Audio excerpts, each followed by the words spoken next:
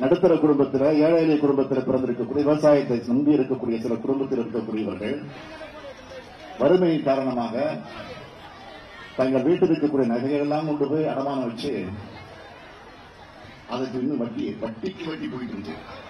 வட்டிக்கு வட்டி போயிட்டு இருக்கு. அதனாலதான் அஞ்சு பவுன் கடன் வச்சிருக்கக்கூடிய அந்த வர அத்தனை கடனும் முழுமையாக திமுக ஆட்சிக்கு வந்தா அதை ரத்து செய்யும். அப்பவே நாடாளுமன்ற தேர்தலுக்கு முன்னாடி சொன்னோம் இப்பவும் சொல்றோம்.